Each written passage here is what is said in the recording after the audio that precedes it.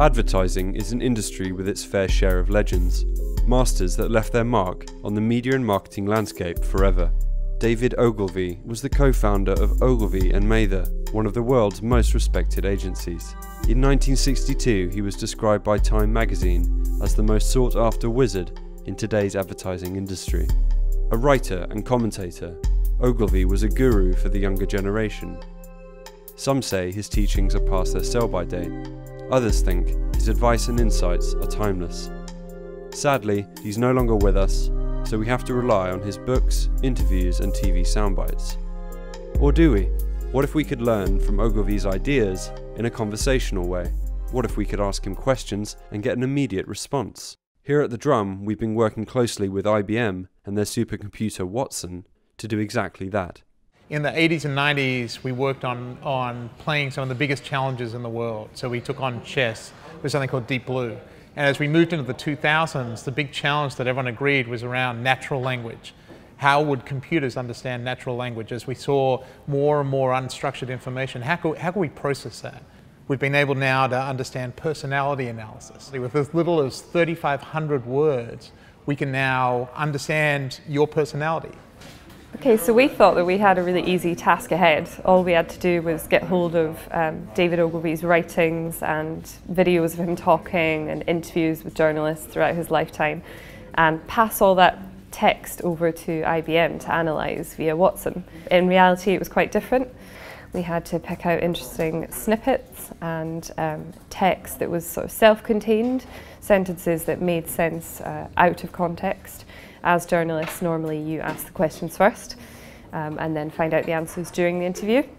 But as it was, we had to read through the material, identify the answers or responses from David Ogilvy, and then come up with the questions. And in terms of man hours, it was probably about 30 hours of my time um, personally, and certainly not a case of just um, sending over some text to Watson to do the hard work.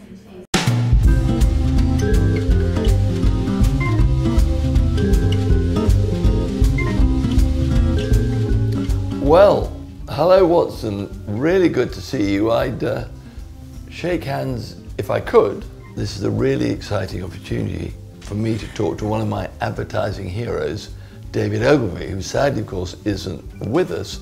So if I was to ask him just one question, the first question would be, what are the most important rules of advertising from all your experience and understanding? Could you just ask David Ogilvy that question? I am sometimes attacked for imposing rules. Nothing could be further from the truth. I hate rules. All I do is report on how mm-hmm. consumers react to different stimuli. I may say to a copywriter, research shows that commercials with celebrities are below average in persuading people to buy products. Are you sure you want to use a celebrity? Called it a rule. Or I may say to an art director, research suggests that if you set the copy in black type on a white background, more people will read it than if you set it in white type on a black background. A hint, perhaps, but scarcely a rule. Well, Watson, it's an interesting viewpoint, and I can understand what he says that he doesn't believe in any sort of rules, but he wants to look at consumer response. But I think that from all the learning he's had, he's learned some things. For example, I've read in his book that you must put the product name in the headline of an advertisement because that gets a better response.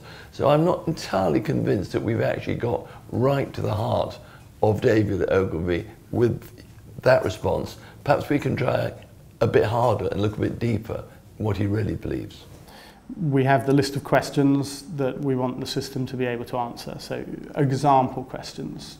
We then create what are called question answer pairs. So we take the question and we tell the system these are relevant, these are examples of answers that are suitable for that question. We get a feel for, for how well it knows the, the, the topic area. We add more questions in and we add more answer pairs, question answer pairs. The first um, version of this just didn't understand the question and, and didn't understand the content and so when we asked it a question and it looked for things, you know, looked for answers, it gave us back answers that, that made no sense. And to some questions, that's, that's still the case. And that's always the case with machine learning. It's, it's never perfect and you're constantly looking to, to, to tweak it and improve results.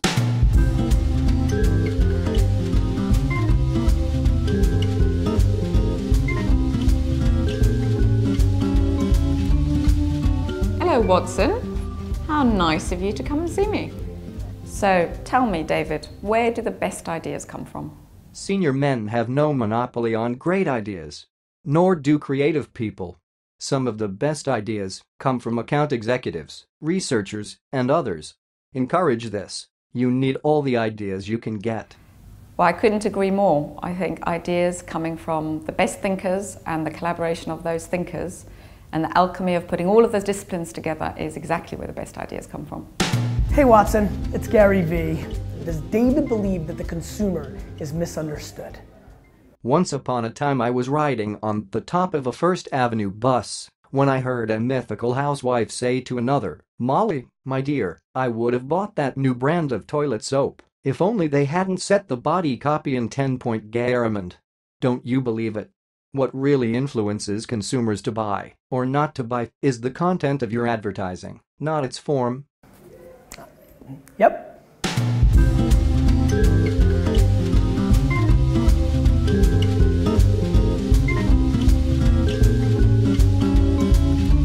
Hi guys, it's David Shing here. So the first question I have for you is simply this. It's a topic that's hot today do you have any views on the gender discussion currently in vogue and the fact that women are coming to the forefront of our workplace today?